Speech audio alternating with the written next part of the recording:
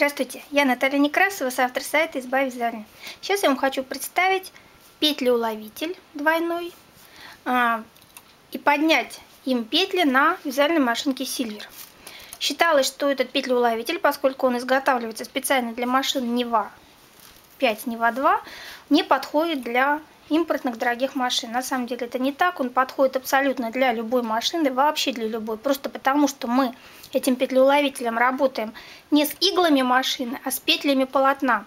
И петли полотна совершенно никак не связаны с расстоянием между иголками. Сейчас я вам продемонстрирую работу вот этого чудного инструмента.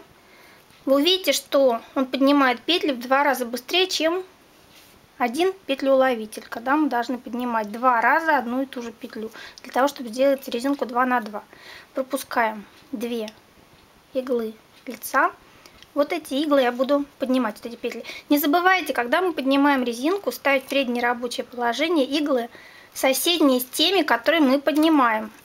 Просто потому, что иначе мы упустим все вязаное полотно. А еще лучше всю резинку поставить вперед, тогда нам не придется поднимать еще раз полотно, которое убежит с иголок. Итак, распускаем петельный столбик. Кстати, хочу вам предложить еще один инструмент, который не входит в комплект дорогих современных машин. Это шильца. Вот, Декер шильцем. Почему-то считается, что он не нужен в машинке, на самом деле это очень удобный инструмент. Он также универсален и не подходит какой-то конкретной машинке. Он сам по себе, это просто вот такая загнутая тоненькая иголочка. И можно почистить машинку, и можно поймать петельку, и можно очень много чего сделать. Вещь очень хорошая, универсальная, рекомендую. Им очень быстро распускаются петли нужной длины. Так, оставляются петелечки. Мы берем свой двойной петлеуловитель, без проблем надеваем на петли. И поднимаем петельную дорожку. Подтягивая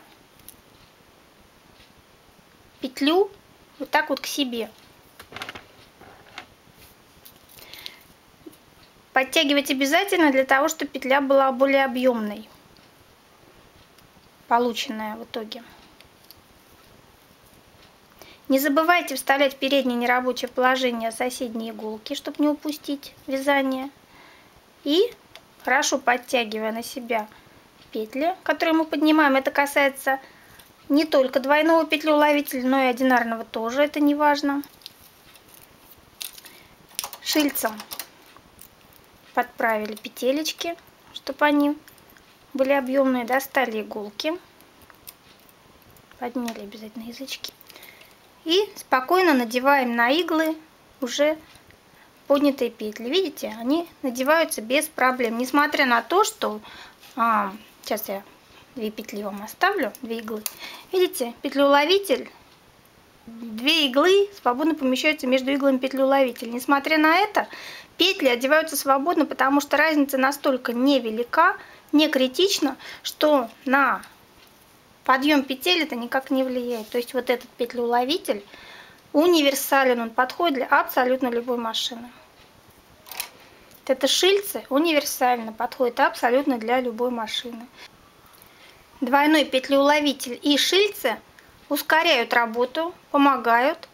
Очень рекомендую вам иметь в комплекте к машинке таких замечательных универсальных помощников.